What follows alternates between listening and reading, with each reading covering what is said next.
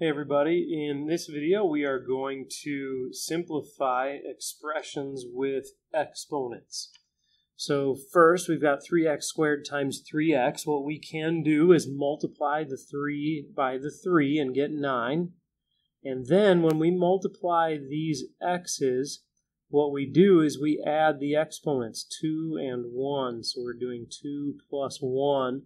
So that's 9 times x to the third power. And here again we are multiplying. So this is 1 times 4, which is 4. And then v, 3 plus 3. So it's 4v to the sixth power.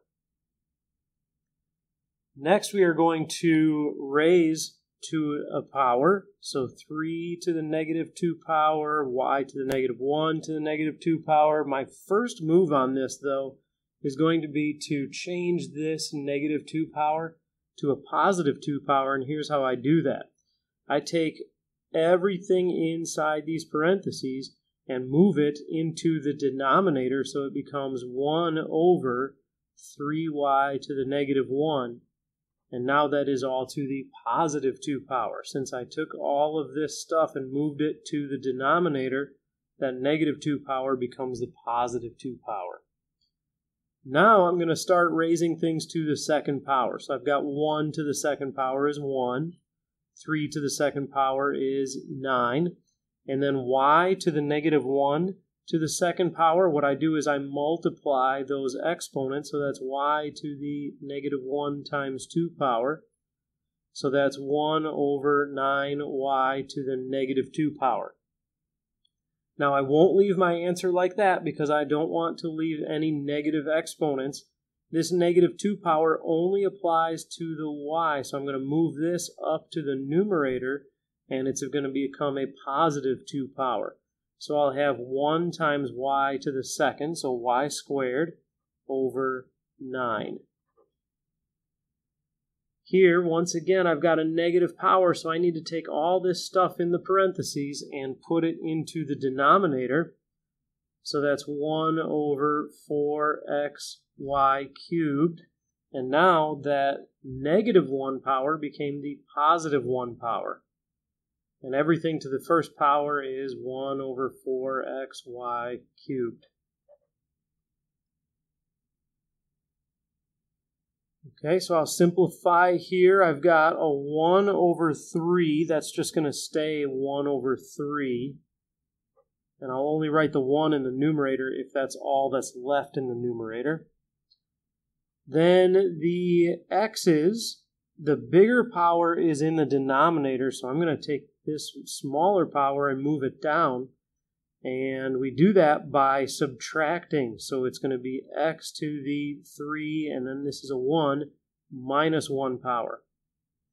And here in the numerator, the y is bigger, so y to the 3, and then when we move this up, we subtract, so it's minus negative 4 or plus 4 so we have y to the seventh power over 3x squared.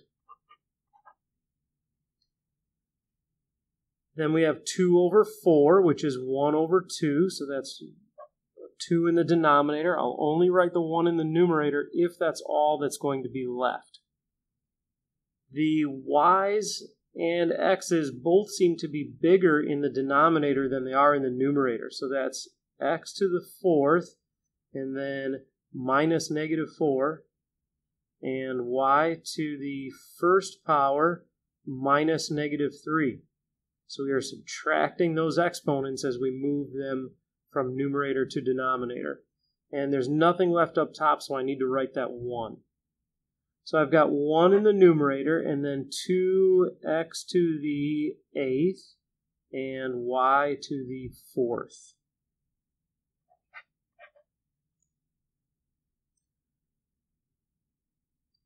Then I've got a negative 4 power here.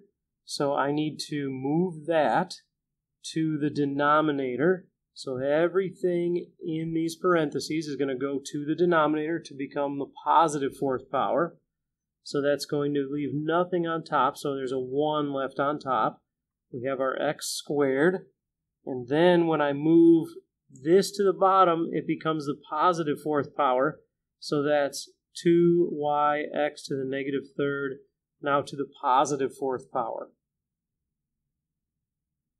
Now I can start raising things to the fourth power. So that's 1 over x squared times 2 to the fourth power. That's 2 times 2 times 2 times 2. That's 16. y to the first power times 4 is y to the fourth power. And x to the negative third to the fourth, negative 3 times 4 is negative 12. Now I need to take this and move it to the numerator to have a positive power. So that's x to the 12th power over 16 x squared y to the 4th. Um, I could have actually combined these already, but I didn't, so I'll move this up here by subtracting it.